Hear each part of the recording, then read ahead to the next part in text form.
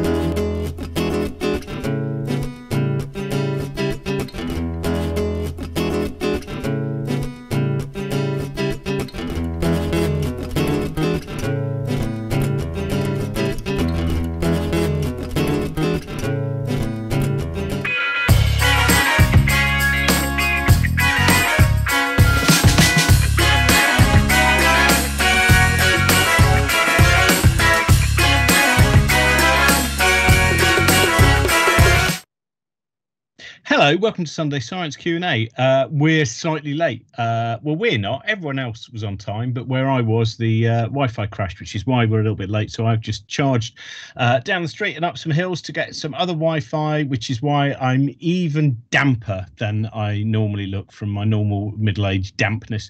Uh, I will probably grow moss above this uh, limited beard that I have at the moment as you watch, which of course in itself is a science experiment. So that is good. today we're going to be talking talking. Uh, we're going to talk about primates. We're going to be talking about our relationship with them. We're going to talk about them themselves without us necessarily being that involved, apart from obviously our observations. Uh, if you saw or heard uh, Infinite Monkey Cage, I can't remember whether it was last series or series before. We had a, a, a lovely episode um, with uh, Jane Goodall and Bill Bailey, in which Jane tried to teach Bill how to speak chimpanzee because it turned out his dialect was appalling. And of course, Jane knows these things. And we also had on with us uh, Cat Hobaiter, who is incredible new level of knowledge in terms of the complexity of language which exists uh, within uh, chimpanzee communities. So it's uh, we'll be talking about things like that. Uh, a few things to tell. We we'll also have Jo Setchell uh, with us as well, um, and I will tell you all about their careers before I introduce them. Helen is not here because the continuation of things going slightly awry. Uh, Helen woke up to find that she had no voice whatsoever. Now, I personally, as someone who does a lot of work with the Slapstick Festival in Bristol, see no reason why she can't use a series of kind of different cards cards, uh, just with you know various bits of bubble information, etc. Um, but she said it, it was better uh, when she was mute not to actually appear on this. But we will be at Standon Calling, hopefully, uh, festival next Saturday at about midday, uh, where I'll, I'll be asking Helen about oceans and uh, also about trying to find new ways of communicating scientific ideas, which sometimes have uh, resistance towards them. A few things to tell you if you can support us via Patreon, that is fantastic fantastic. Uh, Patreon.com slash Cosmic Shambles is where you can do that. And there's loads of extra shows that uh, are available to our Patreon supporters, including a series called Tips for Existence, uh, which the latest episode is Michael Pollan, who is a very interesting, I wrote the, the Omnivore's Dilemma, uh, Botany of Desire, and his most recent book uh, is uh, Your Mind on, This is Your Mind on Plants. and I had a long conversation, in fact, not so much about the book, but about his whole career and his changing relationship with both plants can't and consciousness and the overlap there. Uh, also, uh, next week there is no Sunday Science Q and A uh, because uh, Helen's going to be um, at Latitude, and I'm I don't know where I'm going to be. Just wandering around in my attic as I have been for the last 18 months, I would imagine. Um, but uh, they're going to be doing lots of panels at Latitude on climate change, mental health, immunology. Tamsin Edwards will be there, uh, Suzi Gage, Dan Davis, loads more. On Wednesday, there's going to be a live show from me, uh, which is I'm beginning to do my warm up gigs for Edinburgh Fringe 2022. Yes, I know I'm a relentless optimist to believe that it's going to be happening in 2022, and it's a new show called uh, A Billion Thoughts um, based on something that Frank Wilczek said. If you have any questions, ask them in the live chat or you can tweet them. Uh, Trent will make sure that I see them. Um, let's meet our guests for today. First of all, Cat, hello. Where now, are you now? The last time, we spoke, you were in, spoke, you were in St Andrews. Where are you now? I'm currently sat in the middle of the beautiful Budongo rainforest up in northwest Uganda. See, it's impressive, isn't it? I was in Berkhamsted and couldn't get a Wi-Fi signal, and uh, you're in a rainforest in Uganda and have done tremendous. Can I ask you a bit because I think we talked about this on, on Cage, or, or, or, maybe we didn't get get around to it actually on air. But things like COVID, of course, mm-hmm. have huge implications not merely for in in, in terms of, of, of humans, but there is also the issue in terms of the primate communities that you you are monitoring as well, isn't there? Absolutely. So all primates are vulnerable to COVID. Lots of different animals are, but all primates are very vulnerable to COVID in similar ways to how we as human primates are. And we've been um, really worried about our ability to protect the populations from becoming infected and making some tough decisions at times because while COVID represents a real risk to them, so um, chimpanzees that I work with here in Budongo are probably just as likely to die from COVID as we could be. But COVID isn't the only thing that threatens them. And so, if we had, for example, closed down all the field sites and kind of emptied everybody out and removed all the people from the forest, we might have protected them from COVID. But then we end up leaving them vulnerable to deforestation and poaching and a lot of other kind of issues. So, Uh, each site it's been really different, but here in Budongo we've just started to sort of tentatively have a go at restarting a little bit of research. Um, and I'm really glad that we're able to to do that in a safe way. All of our staff are now vaccinated, and we have a lovely quarantine house where you get locked in for ten days, nobody in, nobody out. Um, and then once you're through that, then you're able to move around with the chimps again. And we have been seeing here in Uganda just two or three times the level of um, logging and poaching in the forest, which is entirely normal because all of the communities in Uganda have been locked down just like we have been. And so they're going to fall back on the resources available to them. And unfortunately that, yeah, that can, that can lead some difficulties for the chimps as well. Lots, lots. Are there in, in terms of are there in, in terms of diseases that because I, I was thinking of what one of the the most tragic parts of, of, both Jane Goodall's books and and and also in some of the documentaries was the polio outbreak, mm. and so with most human diseases, is there is there a, a risk? I mean, would you just think, right, well, hang on, we are so closely related. There is, you know, what is is is do we have a rough percentage chance? Is there anything which isn't communicated from uh, uh, one one species of primate to another? There, there might be apes in particular, given how closely related we are. A good rule of thumb is if we can get it, they can get it. If they can get it, we can get it in some form. Uh, and actually, um, somewhat bizarrely, we're very, all of the kind of things we've been doing recently, so wearing masks, social distancing, washing our hands all of the time, um, we've been doing that at the primate field sites for years because even just a regular cough and cold that you know makes you a bit sniffly can actually be lethal for some of the apes that we work with and a lot of the other primates too. And so it was this very strange kind of intersection of my two worlds when the things I was used to doing in the forest, which is wearing a mask all day, running around, worrying about respiratory infections and distances, long before COVID, suddenly entered the rest of my world when I was back in St. Andrews and, and for everyone else around the world. Now, it seems almost now, it seems almost a lot to ask you if you've got a show and tell when you are actually in a rainforest in, in Uganda, which is a pretty big show in itself. Do you have a show and tell for us today? For you today. Um, so, my show and tell today is a leaf. now, I realise that since I'm currently sat in the middle of a rainforest, it might seem like I've kind of half-assed my work a little bit, but bear with me. Um, so, chimpanzees are really well known for using tools. Um, lots of different tools, different groups, different tools. Um, these days, we know there's lots of different species that use tools. So, Hawaiian crows make these amazing little hooked tools to go for insects, and dolphins stick sponges on their nose when they're foraging about on the seafloor. But the descriptions that chimps not would only use tools but actually make their own tools. Well one of these moments in science where we really started to rethink what humans were. And we could no longer be man the tool maker and all of that rubbish anyway. Um, so when we're talking about chimp tools though what comes usually to everybody's minds is sticks and stones. And they use sticks for fishing for ants for digging for honey uh, little stone hammers for beautifully cracking open hard nuts and things and every chimp population from East to West Africa uses stick tools or stone tools, except for one. And that one population that has never in its life used a stick or stone tool, as far as we're aware, is Budongo, which is where I'm sat right now.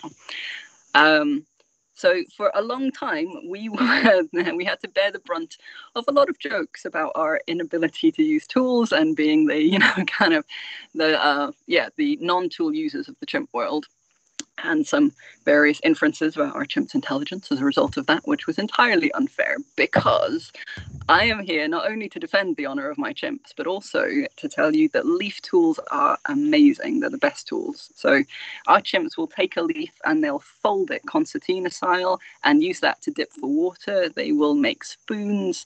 They will wodge a sponge up and use it to um, clean wounds or wipe something off their foot if they've stood in something they didn't like standing in.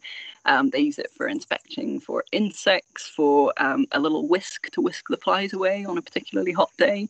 Um, leaf tools are fascinating, and there are so many different forms of them. But if you are a chimp and you drop a leaf tool when you're done with it, then basically what you do is you drop a leaf in a forest full of leaves, which means that as scientists, we know relatively little about them. Um, but that's our problem, and it has nothing to do with how interesting or useful or important leaf tools are. And I think everyone should get over their stick and stone obsession and embrace the leaf tool. Excellent. That's brilliant. Thank you. We've got loads of questions. Brilliant. Thank you. We've got loads of questions for you, uh, and uh, obviously for Jo as well. We're joined by Professor Jo Setchell, who's a primatologist, at Durham, Durham, Durham University, and also president of the Primate Society of Great Britain. Uh, Jo, uh, you're also somewhere uh, that is not you're, you're you're you're not just in Durham at the moment. No, I'm in Southwest Gabon in Central Africa. And you are involved in uh, a saving primate uh, project out there at the moment. Is that right? Can you tell us a little bit about that? Uh, yeah, I can. Um, so um, I've been coming here to Franceville in Gabon for uh, 25 years now, um, mainly as a researcher to work on a particular species of monkey um, who are fabulous and they live here. They're, they're just wonderful, fascinating. Um, but it isn't possible to spend a career working on primates doing research without becoming acutely aware of the extinction crisis. Um, so I'm not here to work on mandrills this time, although I do go and see them as much as I can. Um, I'm here to work with an organization called Save Gabon's Primates, which was founded two years ago by my um, colleague and hero, Dr. Barthélemy Ngouba uh, who is Gabonese. Um, and we're dedicated to primate rehabilitation, welfare, conservation, and uh, human primate relations. Um, so we're based here um, and the history of the organization is that until Bart became head of the Primate Center here in Franceville, the Primate Center was a biomedical experimentation center um, to do biomedical experiments on primates. And Bart is the first Gabonese director of that center. And when he took over, he put an end to all of the experiments on primates and turned the center into a rehabilitation center so that we can rehabilitate the animals who were involved in experiments um, and also take on orphans uh, relating who, who um, come from hunting. So there's a lot of primate hunting here in Gabon. Um, and when parents are killed, baby primates are left and often kept as pets um, in some pretty poor conditions, sometimes in nice conditions, but living with humans. And they really need to be living with primates because primates are social species. Um, so we take those primates on, on re-socialize them, check their health, improve their health if we need to. We usually do. Um, re-socialize them as primates and eventually release them into the forest so they can uh, rejoin the life that they were born into. Um, so that's what we do. But what, what I'm here for right now is that we um, are having a, a, a, strategy session. So we're planning our, our strategy for the future. So our aim, our vision, is to be a centre of reference for primatology primate veterinary science, conservation, and human animal relations. So we're strengthening our links with local universities and with the national university so we can bring sociologists and anthropologists in. Um, so we can promote cross cultural understanding, inform conservation efforts. Um, and so the point we want to make is that Gabon is home to very large populations of wild primates. It's still 80 80% rainforest here in Gabon, isn't it? It's a fabulous country, incredible biodiversity, great hopes for conservation if we can get it right, um, but only if we get it right. Um, and we think that centres of excellence in primatology should be in countries where there are primates, non-human primates, um, not in Western. I mean, they can also be in Western Europe and North America. I'm not suggesting they shouldn't be, but they shouldn't only be in the North America and Western Europe. Um, and I think the travel restrictions around the pandemic have really shown that because if projects rely on the presence of foreigners and foreigners can't travel, then the project's completely uh, fall to pieces. So um, I'm really excited and really happy um, to be involved in this important move towards decolonising science. Where's the best place that people can go to read up more about this? Uh, we have a website, Save Gabon's Primates. It's currently in French. Um, one of my jobs is to do the translation. Um, but it's Save Gabon Primates, savegabonsprimates.org. Um, information, pictures. We're on Facebook, so you can follow us on Facebook. Again, usually in French, but again, I'm going to be translating all of those posts. Um, so there's information about the animals that we house, animals in Gabon, um, the people involved, all that sort of thing. Brilliant. And do you have a show and tell for us this morning? Well, that really, yeah, I do, but um, I don't know if you can see can you see oh, this is right in front of your face just for a moment? If if you there we are. Yeah, we can. Yes. so there we are. It's it's publicity for Save Gabon's primates. This is my drinking goblet. Excellent. That's I, I like fact you know that just reached out and grabbed some leaves that were hanging around and made up a story. You've just got out of. Um, uh, we've got loads of questions. I'm also good because I'm not using the normal camera. I've realised, so I'm just going to quickly just clean my camera there a little bit because this is not the normal one I'd be on. There, I realised that it looked like I deliberately smudged it to make myself look younger uh, in one of those uh, 1970s film stars. And let's get on with. We've got loads of fantastic questions. As I said, if you have questions as well, we take live questions. So do just put them in the live chat uh, or tweet us. Uh, let's start off with Nick. Said uh, I would like to know when it said that uh, chimpanzees can understand us. What exactly can they understand? Is it simple cause and effect they're learning, or are they capable of understanding our intent? Now, of course, there's been so many different studies on this. I wonder, uh, and and so many different takes. So, Jo, should we start with you on that? um, yeah. So is this is probably Cat's area more than it is um, mine, actually. But I yes, I'm pretty convinced that they can understand intent. Um, based, I think, on on um, Frans de Waal's um, point that we're very, very closely related. It would be strange if we didn't share that. I think we start from a, a, um, a hypothesis that we do share traits, and then if we don't, then that would be a surprise. Cat. Yeah, definitely. I completely agree. So I think, you know, let's just get over this idea that humans are some sort of exceptional kind of different species, like every other species in the world. If you have a close biological relative, then you're very likely to share an awful lot of those capacities. And we are very, very closely related to other primates, and especially chimpanzees and bonobos are our sister species. Um, and so my own work on communication suggests that they certainly are very capable of understanding each other's intent. Um, but studies that have been done on captive apes, where you we've got the interaction between humans and chimpanzees or humans and other primates in general also show that they're very good at communicating back and forth, at requesting things, at understanding what you're getting at. Even if you're making a mistake, they might modify their communication a little bit. So um, there's a lovely study by um, Dick Byrne and Erica Cartmill on orangutans, where they were gesturing to their zookeeper, and their zookeeper had two piles. Uh, one was cucumber, one was bananas, and anybody that knows an orangutan knows they want the bananas, not the cucumber. And the zookeeper would do one of two things. He would either give them one banana or some cucumber, or actually all the bananas. If you give them all the bananas, they stop gesturing, nothing else needed. If you give them one banana, they're going to keep gesturing with the gestures they were using because that kind of works but you just haven't done everything they were after. And if you give them cucumber, then probably apart from them throwing it back at you, they will completely switch their gestures.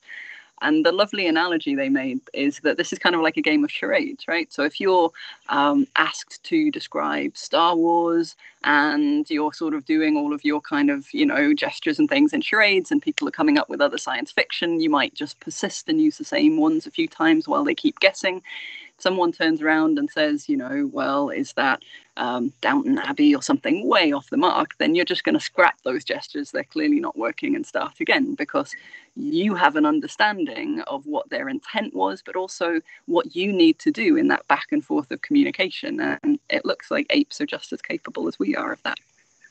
Brilliant, brilliant. Now, the next question is for both of you. I'm going to start with you, Kate. This is a tough question. This is from Joe. She's six years old. Uh, hello, Joe. Uh, Joe wants to know what is the best monkey?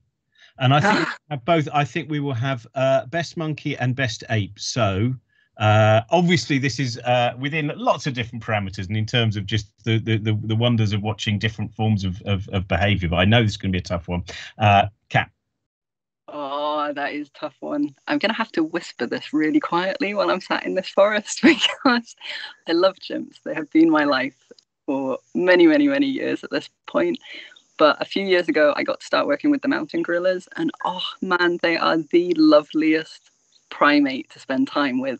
They're nice to each other all the time, which the chimps are definitely not. They're relaxed their kind of life goal involves generally eating, cuddling, and tickling each other, and then having a very long nap for the day. And they're just, yeah, they're they're really really wonderful, and I've had the best time getting to to understand a little bit more about their world. So I might have to go mountain gorilla this time. Jo? So I have two answers. First, it's the last monkey I saw because that that's usually how I work. I just get so excited about whatever it was I saw. Um, but I have to say it's mandrills. Mandrills are just fantastic. They have a red stripe down their nose, blue stripes on their cheeks, a pointy yellow beard, huge teeth. That's the males. The females are colourful. Juveniles are just adorable. So I think mandrills are the best. Brilliant. There we go, Joe. That's that's a starting point. I'm sure you will have uh, a, a, another choice, but it's all it's always so. I know Steve Backshall always has a problem with it because I don't really have a favourite because, as, as you said, Jo, it's, it's, the latest thing you've seen, or it's just these little, all of these beautiful little details. I wonder, have did I have either of you read um, Eugene Marais' um, Soul of the Ape? Jo, I just I just yeah. want because that is such a I know that wasn't published until the late 60s, but that seems to be even though I know it's not an ape, it's actually a monkey that he's he's he's studying. He does that with the soul of the white ant, where it's actually termites as well. But the rest of mm-hmm.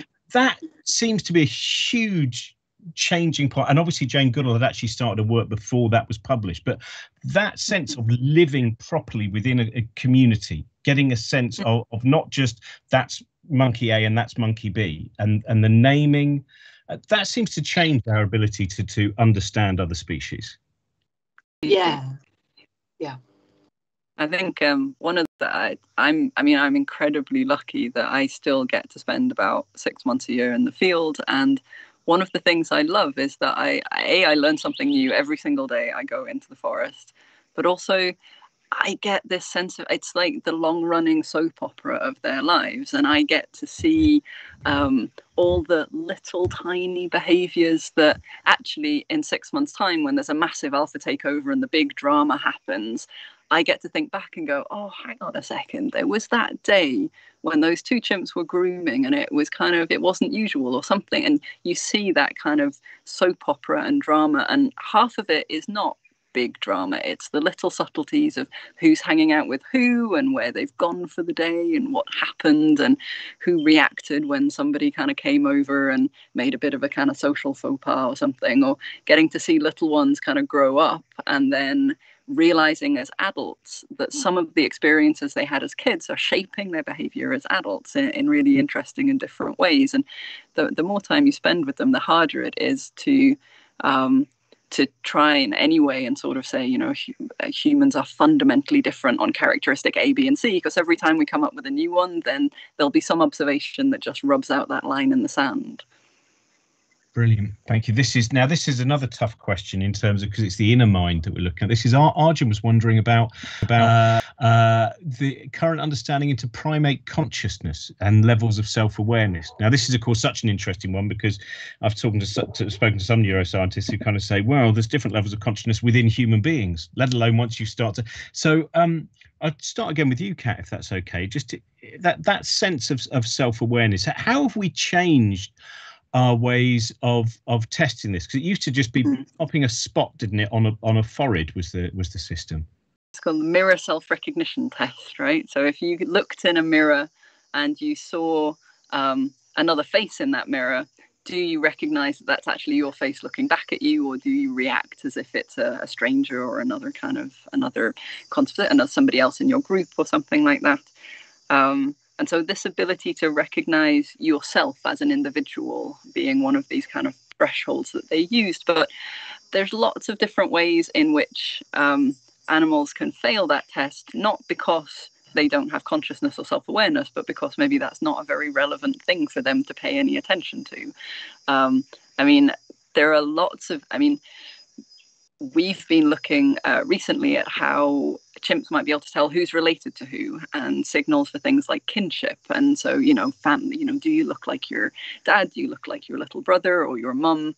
Well one of the ways that um, we think we know what we look like in humans is by looking into a mirror but mirrors are, have only been around for a few thousand years in humans kind of you know we haven't fundamentally changed our minds and our cognition over the last couple of you know even over the last probably five or ten thousand years, and that's you know long um, before mirrors were turning around. So I, I, don't think that it's necessarily a great way of capturing it, but it is this really difficult question of how do you ask I mean, we make lots of mistakes about what other people are thinking all the time. I make lots of mistakes about what other people are thinking all the time, at least, and hopefully it's not just me.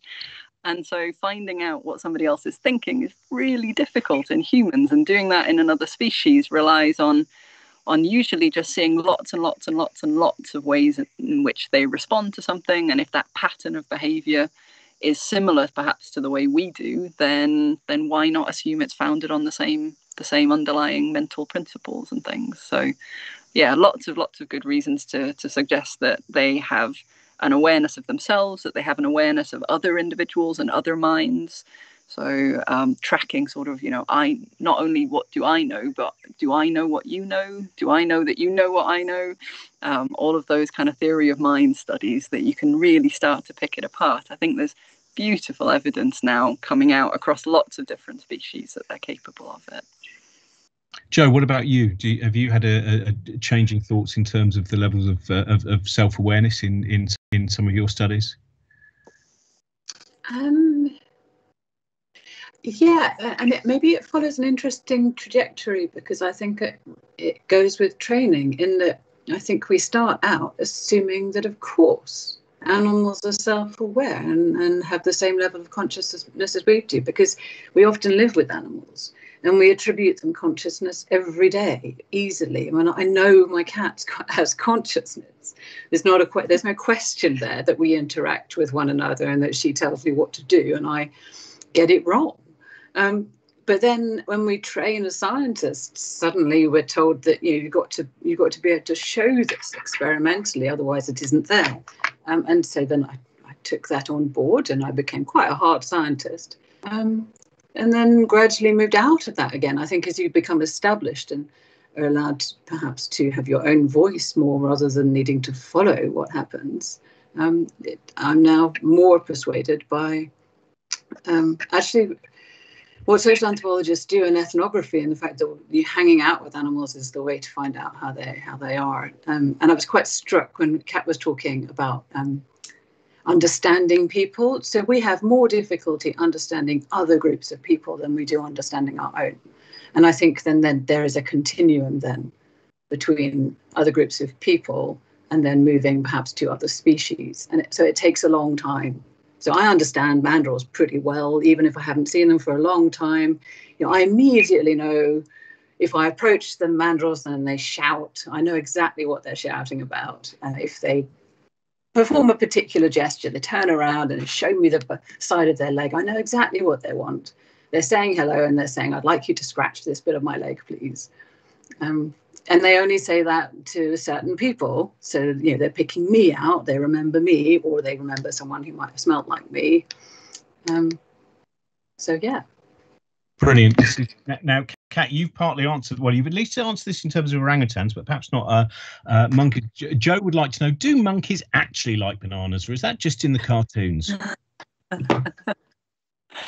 uh, they certainly seem to like them if they get them, but it is not something that most apes and I don't think many monkeys um, would eat naturally in the wild. So um, it's not a normal part of their diet, but there are lots of things that are not a normal part of our diets, and we're quite keen on them when we get our hands on them.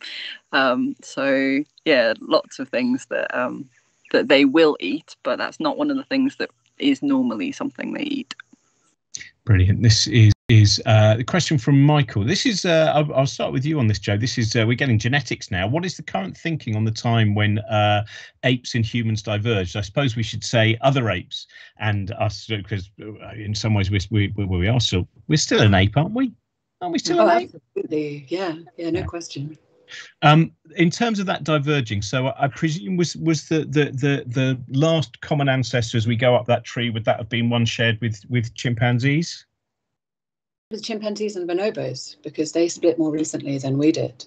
Um, so estimates vary between, I think, five million years ago would be the really, really kind of closest time, and it maybe goes up to 10. Some people would still argue for further back than that, but I don't want to get this wrong. I think most people are settling around seven, some seven million years ago for the split between humans and chimpanzees and bonobos.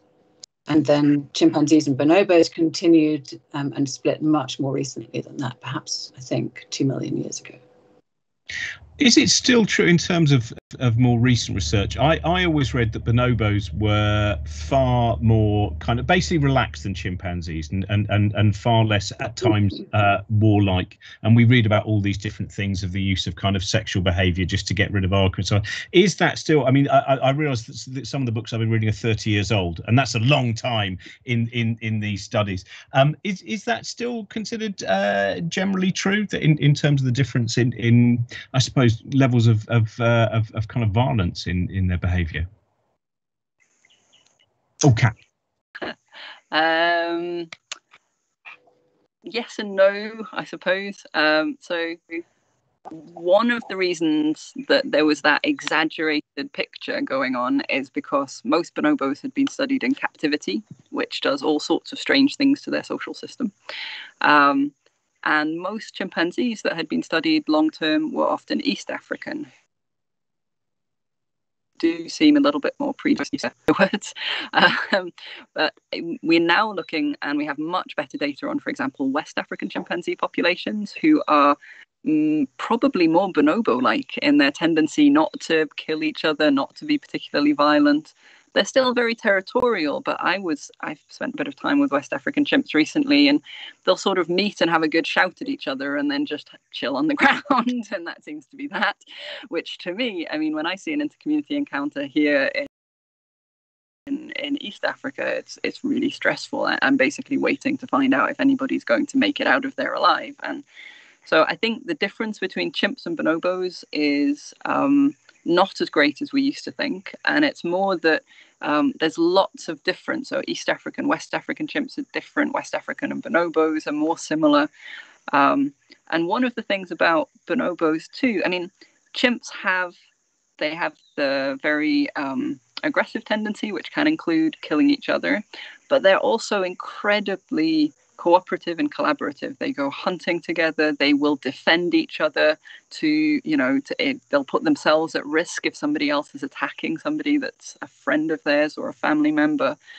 And one of the flip sides with bonobos is you do get a little bit more pro-social sort of you know they they will if they meet the neighbors then they're as likely to have sex with them as anything else but also you don't seem to get quite as much of the other end of the spectrum. So maybe bonobos live somewhere in the middle. And one of the features of being really strongly socially bonded is that therefore you have an in group and an out group. So you've got competition, but you've also got these incredible social bonds in your in group that lead to all sorts of interesting things. And it just might be that bonobos live in a in a very different kind of world in that respect.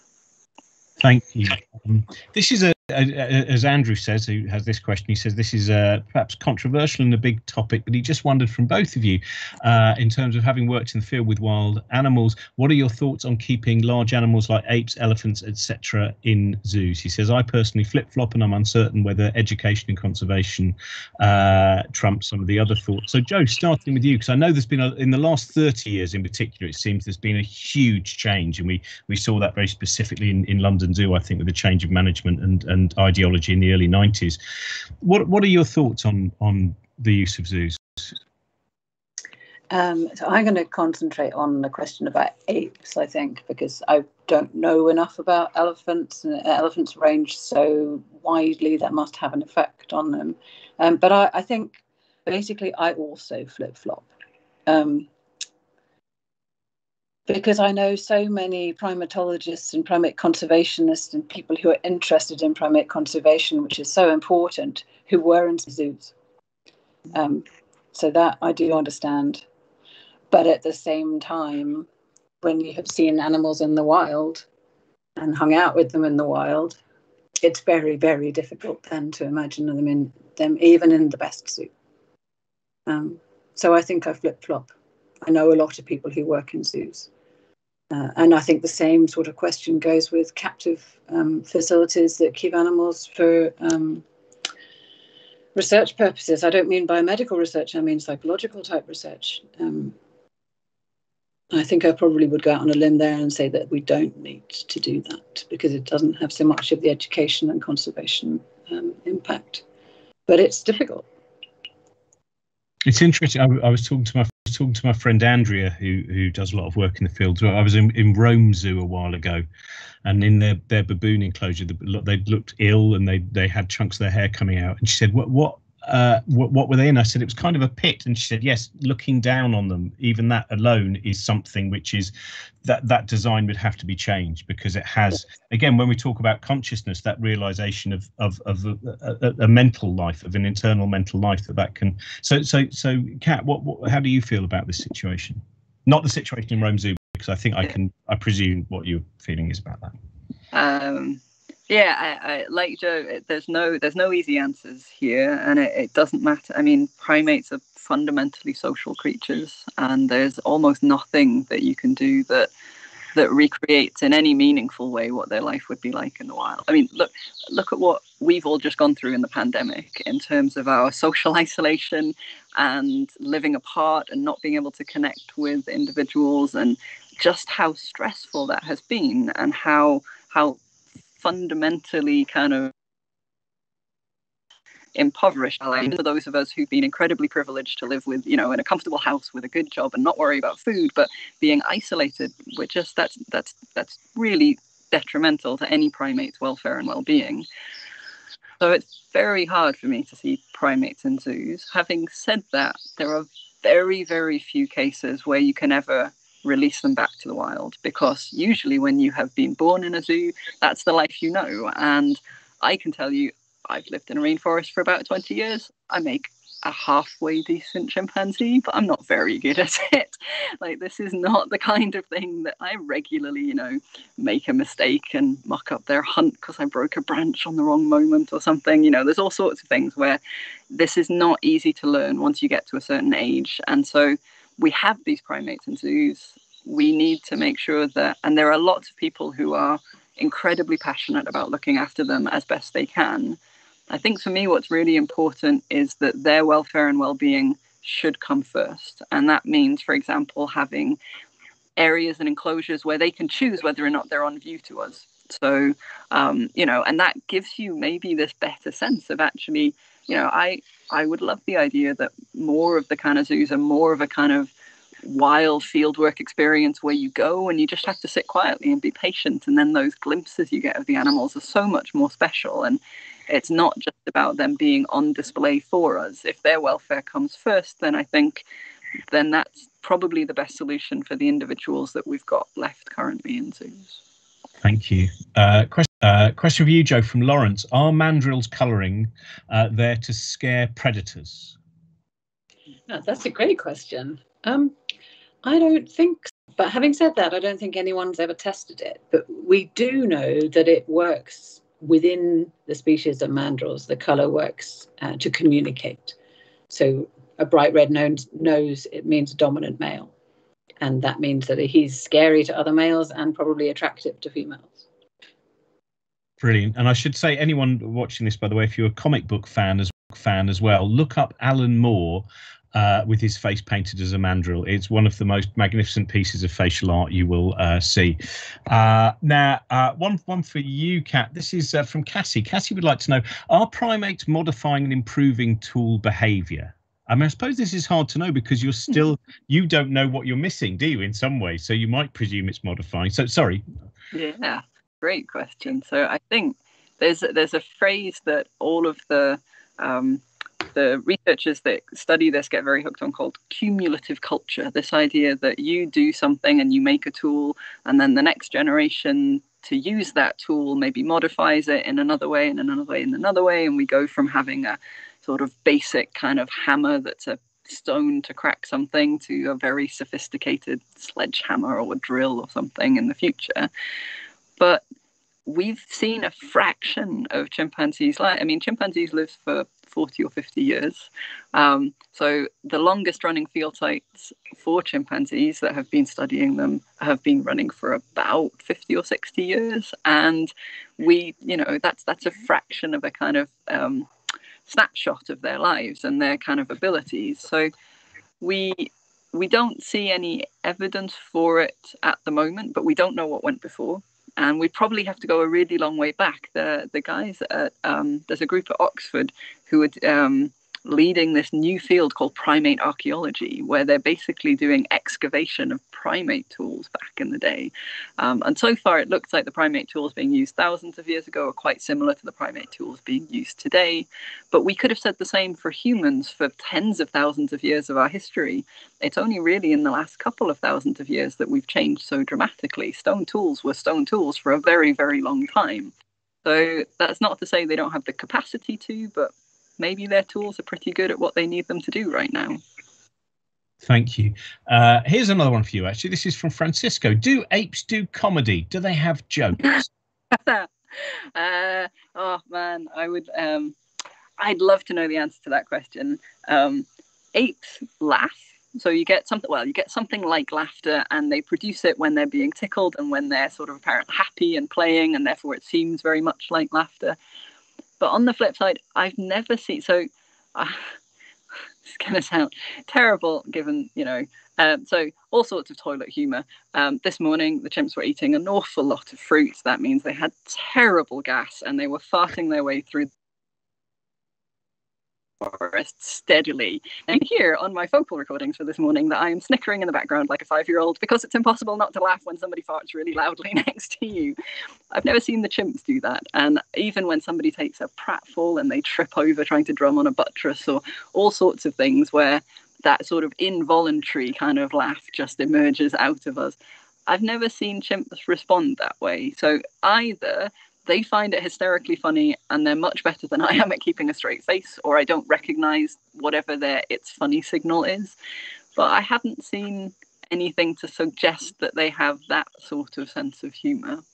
Um, but yeah, I'd, I'd love to know the answer to that.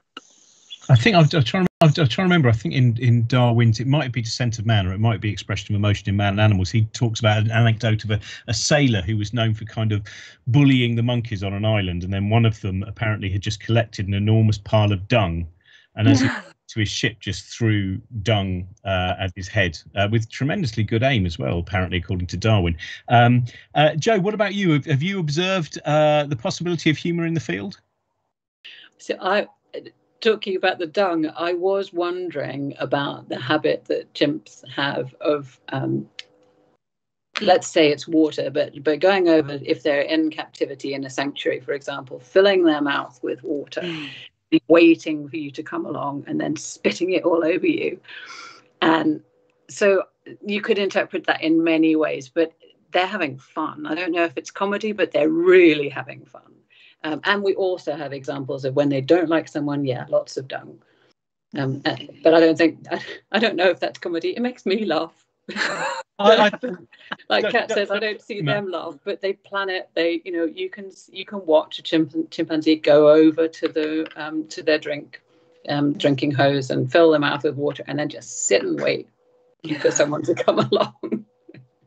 I think, yeah, I think the prank, pranksterism. I like that. I like the fact there is uh, there's tricksters and pranksters uh, in great forests. Um, this is uh, well, I suppose we almost talked about this before. From Haggis Lover would like to know, uh, and again, I'll start with you on this, Cat. Do do primates have better immune systems than us? Uh, Haggis Lover was in particular feeling like hmm. if I drank fresh water out of a puddle, I presume I'd be on the toilet for a week. Uh, but I presume it depends on different surroundings. So, so Cat, what do you reckon?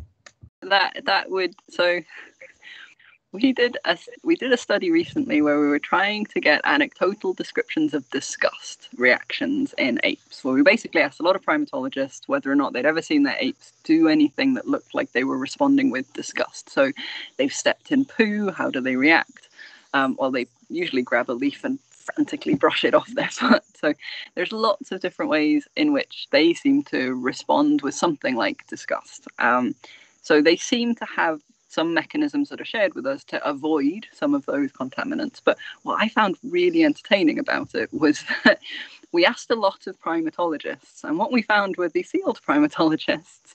We actually ended up having to tack on a questionnaire to assess the threshold of disgust response in the person answering the questionnaire. because it turns out that if you spend your life running around a rainforest and you've dropped a high value food item like a piece of chocolate on the floor the three second rule gets bent to to its absolute limits because there is no more chocolate coming anytime soon. So i suspect that uh, a our responses to these things are, are, just really shaped by our immediate environment and that's going to be our physical environment that we're living in. What are we exposed to? It's going to be our behavioral environment. What do we choose to avoid and what do we risk or risk exposing ourselves to? So i don't think that this is necessarily that other primates have better immune systems than we do so much as depending on what kind of a world we live in our immunocompetence might have become strengthened or flexible or adapted to whatever world we're living in. Jo, have you observed much in terms of understanding the different the different uh, immune systems of, of, various different monkeys, apes, humans? Yeah, so I think this takes us back to the question about um, COVID and diseases and respiratory infections and so on. Um, so I don't think we have, I don't think there's a, a better immune system in one species than another. I think there are different immune systems and so that's the like the classic internal immune system where we we we produce um, killer cells and so on against uh, um, antigens, but also maybe behavioral. So what a, a, lot of what Cat was talking about is our behavioral immune system that we, you know, would or wouldn't drink out of a puddle or or step in something or eat that chocolate. Um, so I, I think it's more that there are differences, and we know that in in the way so chimpanzees die of respiratory infections that we barely notice, and yet they seem to live for a very long time with simian immunodeficiency virus, whereas um, HIV, human immunodeficiency virus without drugs, kills us pretty quickly. Uh, mandrills seem to have two simian immunodeficiency viruses um, with which they just live. Then We don't have yet any evidence that it makes them ill at all.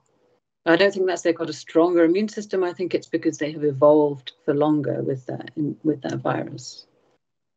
Brilliant, thank you. Have you both got a couple more minutes? Just because I know we started late and that was my fault. Uh, just we've got a few more questions. Brilliant. Uh, the um, I'm not going to ask you why can't we use seawater to water our gardens. That's from Nicole. Nicole, we will definitely ask that when Helen's back. That's very much a Helen question. And uh, so back in two weeks, Nicole, we'll we'll get to your question. This we've got a couple on language which Anna would like to know. And we, again, we kind of touched on this very slightly at the beginning. Do all chimpanzees have the same language, or are there different dialects amongst regions?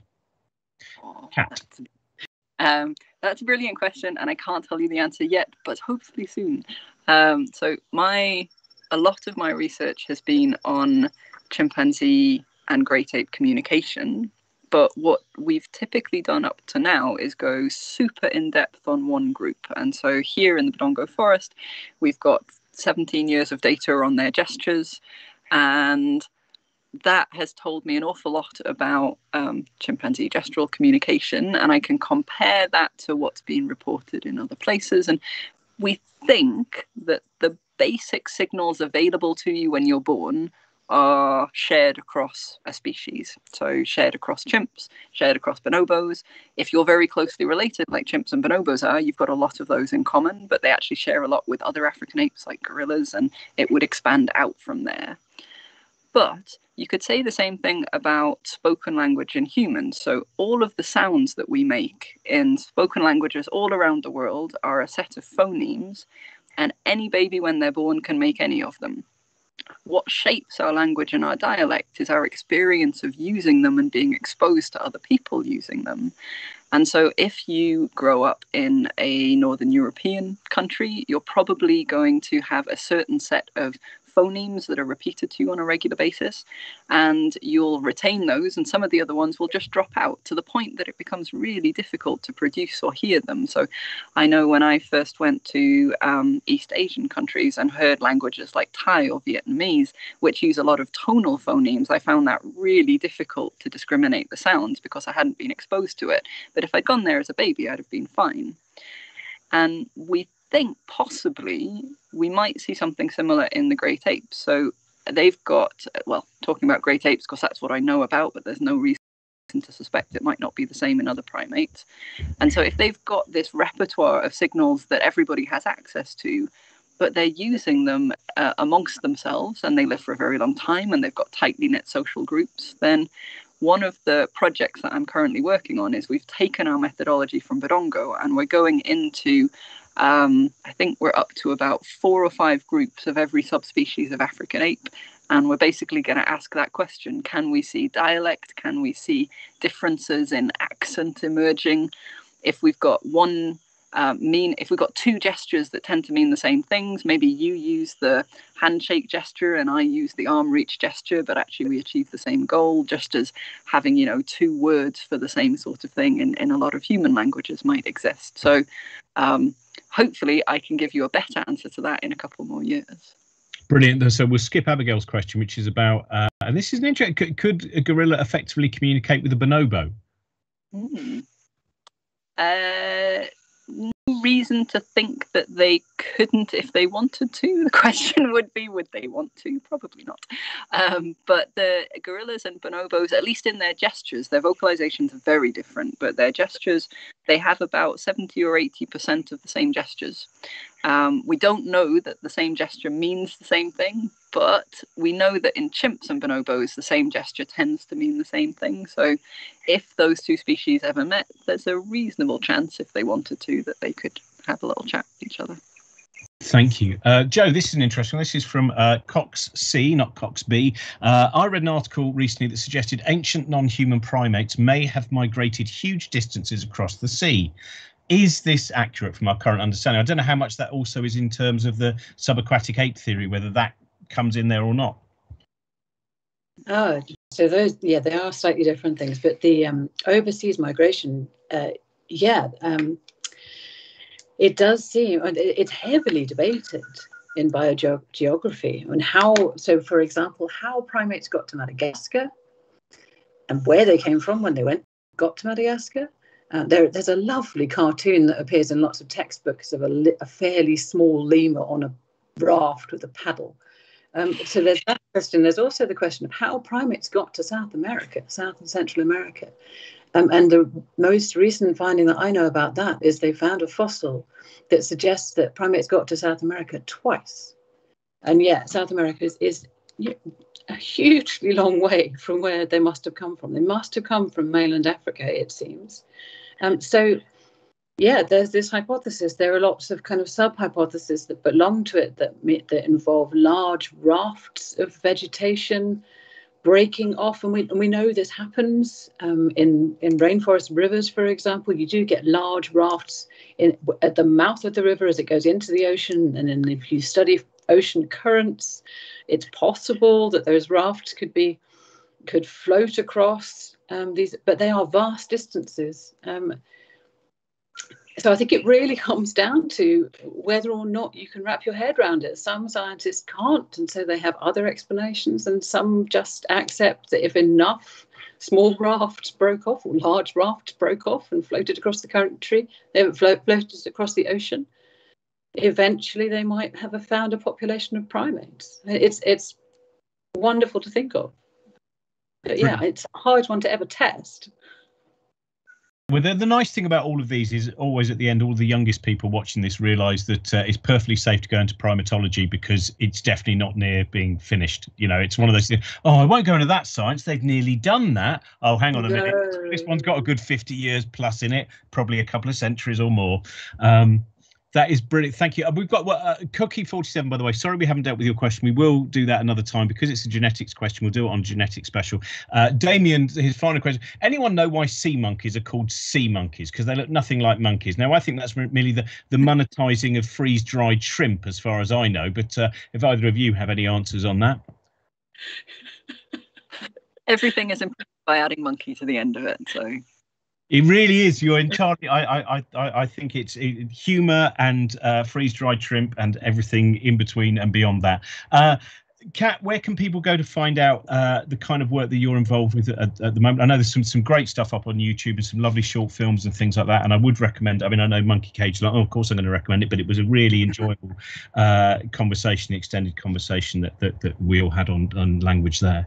Uh, you can find out a bit more about us at our lab group website. So we've got wildminds.ac.uk and greatapedictionary.com is where all of our ape communication work lives. Brilliant, thank you. And Jo, just a reminder again of where people can go on uh, on Facebook and also the the website. Yes, please look at um, Primate Society of Great Britain, which is psgb.org. Uh, so that's for anybody interested in primates uh, in Great Britain and elsewhere. And have a look at savegabonsprimates.org. um, if you speak French or have a look at it in a little bit when I've translated it. Brilliant. You both so much. I'm sorry that we kept you waiting before. Uh, and uh, also, I was going to mention this week we've got, I think, next uh, the Tips for Existence. Current one's Michael Pollan. Next one will be uh, Natalie Haynes with her Tips for Existence using the classical world. And uh, I think probably a very interesting, we haven't recorded it yet, but a conversation about Plato's cave and why Plato actually came up. It may well have just been that he was very short sighted, which really changes his philosophy and his disappointment with it. So we'll be dealing with that. Um, and I'm not entirely sure what our next book sham will be, but it may well be uh, Rupert Thomson, who is a, a, fascinating novelist. I hope you all have uh, wonderful Sundays. Uh, thank you to our producer Trent. Thank you again to Cat and Jo. And uh, we won't see you next week, but we'll see you the week after.